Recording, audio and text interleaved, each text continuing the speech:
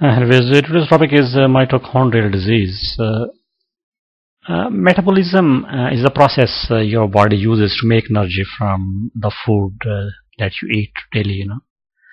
And the food is made up of proteins, carbohydrates, and fats.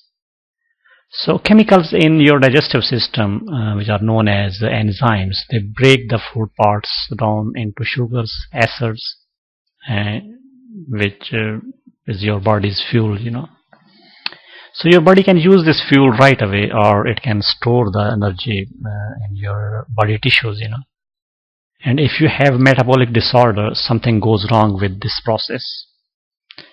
now, The mitochondrial disease uh, are a group of metabolic disorders. So mitochondria, uh, which are small structures that uh, produce energy in almost uh, all your cells, you know.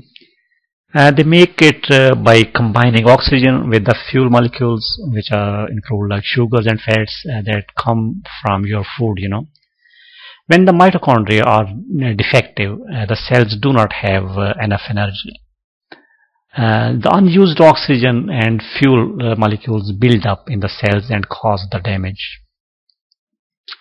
So this is what the mitochondrial disease is you know now, the symptoms of mitochondrial disease can vary. It depends on how many mitochondria are defective and where are uh, uh, they in the body. Uh, sometimes only one organ, tissue or cell type is affected, uh, but often the problem affects uh, many of them, you know. Now, the mit uh, muscles and the nerve cells have especially high energy needs, so the muscular or neurological problems are common and the diseases range from uh, mild to severe and sometimes uh, it can be fatal as well you know. Now the genetic mutations cause uh, this disease and uh, in fact these diseases you know. And uh, usually it happens before the age, uh, age of 20 and some are more common in infants too. So there is no cure for these kind of diseases but the treatments help with the symptoms and uh, slow down the disease you know. Uh, and they may include like physical therapy vitamins and supplements special diets and medications as well.